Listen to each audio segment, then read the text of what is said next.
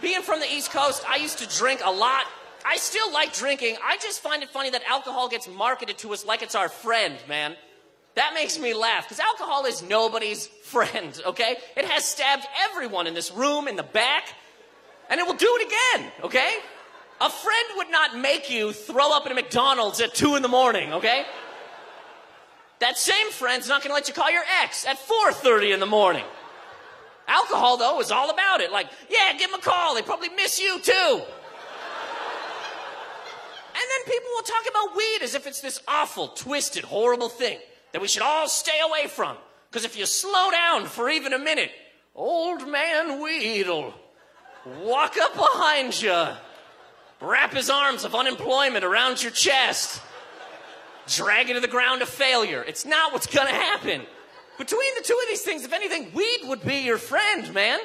Because weed does things that a friend would do, okay? Like, hey, you're stressed out? Weed will calm you down. Like a friend would. Weed will get you some chips. You didn't even know they were in the house, man.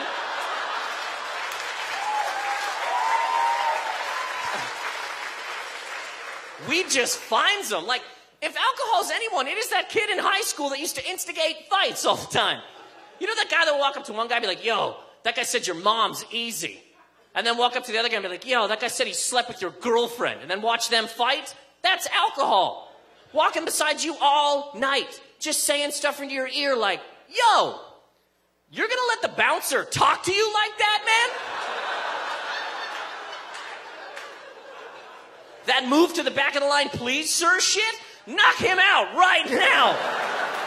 My name's Nathan Macintosh, guys. Thank you so much. Have a good night. Nathan Macintosh.